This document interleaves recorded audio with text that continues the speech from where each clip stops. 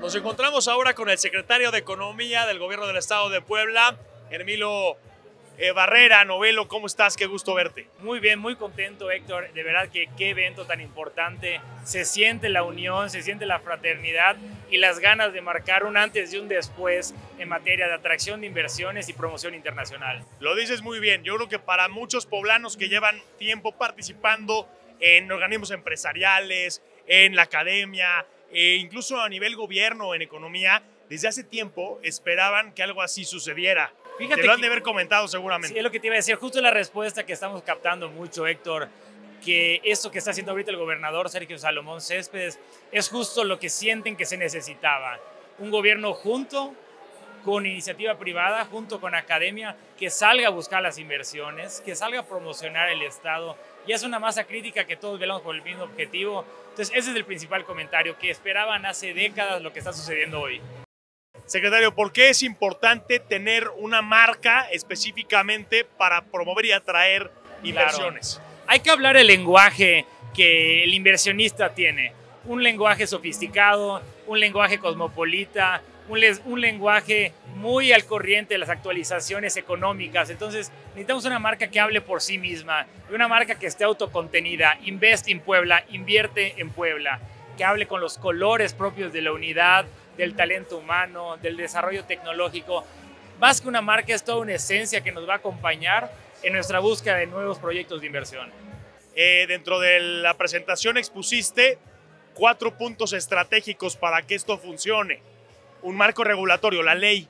La ley de desarrollo. En ese sentido, platícanos, ¿de qué se trata esta ley? ¿Para qué sirve? Y si no existía algo ya antes. Existía una ley de desarrollo económico sustentable. Lo que era necesario era ya actualizarla con base en lo que estamos viviendo ahorita a nivel internacional, a nivel Estado. Una ley donde nos permitiera ser más ambiciosos en la captación de proyectos de inversión, poder otorgar incentivos a la inversión en un marco de transparencia y Estado de Derecho, eso al inversionista le llama mucho la atención. Entonces la ley nos da esa fuerza jurídica de decir, te estoy haciendo esta propuesta de valor para que te establezcas en el estado de Puebla. Segundo, mencionamos el plan de promoción internacional. Hay que salir a captar las inversiones, salir a buscar a estos proyectos. Entonces hay que ir al extranjero. ¿Y cómo vamos a ir? Primero con un consejo consultivo, que es lo que presentamos hoy, más de 20 expertos y expertas en diferentes temas. Y por último, la marca, que es ya nuestra identidad. Hoy este consejo consultivo formado por 26 personas. 26 personas. de diferentes eh, orígenes, ¿no? Digamos, son de multidisciplinarios, plural, muy diverso el, grupo.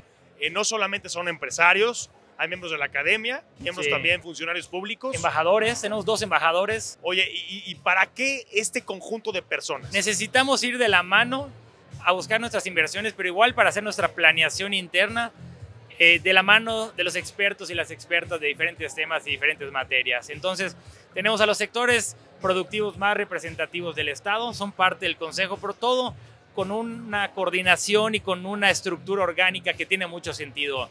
Coordinación de planeación para ver con visión de futuro, con una estructura orgánica de infraestructura, talento humano, competitividad, suministro, entre otras. Una coordinación regional compuesta por diferentes bloques continentales para poder hablar los idiomas que hablan cada uno de esos bloques. Entonces necesitamos a los expertos de los temas. Y luego, tercera parte, una coordinación sectorial, textil, construcción, electromovilidad, automotriz, para entender las dinámicas propias de cada uno de los sectores. Entonces, esa es la estructura orgánica y la complementamos con vocales independientes expertos en materia, expertos en economía de género, en gobierno, en comercio exterior, en diplomacia económica, entre otras. Entonces estamos acompañados de lo mejor de lo mejor. O sea, gente que es referente en lo que va a asesorar. Totalmente, referente internacional. Ninguno. Tenemos, por ejemplo, perfiles como Sergio Ley, un verdadero, el, el embajador Sergio Ley, una eminencia en temas de comercio exterior y temas de Asia-Pacífico. Fernando Sepúlveda, el presidente de la Asociación de Empresarios Mexicanos en Estados Unidos, el presidente en California, que vino hoy para este evento la directora general de la Asociación Mexicana de Parques Industriales, Claudia Esteves. Tenemos a los referentes de sus materias. Y eso, además vi que una referencia como ella hablaba muy bien de este ejercicio, de este proyecto que hay en Puebla, que se vuelve un parteaguas, un ícono, Totalmente. ¿no? una referencia a nivel nacional. No ha habido una persona que nos diga que no esta estrategia, que nos diga que no a participar en el Consejo Consultivo. porque está rompiendo paradigmas. Es una forma distinta de hacer atracción de inversiones, hacer promoción internacional, con la unidad, pero basándonos en las mejores prácticas y con los expertos. Entonces, es un conjunto amplio de acciones que están sucediendo ya en el estado de Puebla bajo la visión del gobernador Sergio Salomón Céspedes. Finalmente, la marca Invest in Puebla, más allá de lo que significa en español, preguntarte eh, qué pretenden con esta marca a, a lo largo del tiempo, porque quizás tú sigas o no como secretario de Economía Claro. en el año que entra. La intención es que ya sea una marca propia del Estado de Puebla, una marca propia del Consejo Consultivo, una marca propia de la Secretaría de Economía, pero de todos nosotros unidos en esta visión de atracción de inversiones. Es una marca que te refleja la identidad y el orgullo de lo que está sucediendo en Puebla, pero con una visión de ver hacia adelante, con unos colores representativos del talento humano, la competitividad. Entonces, trae una esencia alrededor que tenemos toda la confianza que el día de mañana que nosotros no estemos ocupando esos espacios, las siguientes administraciones lo van a seguir fortaleciendo y agarrando como propio. Una marca se tiene que posicionar a lo largo del tiempo.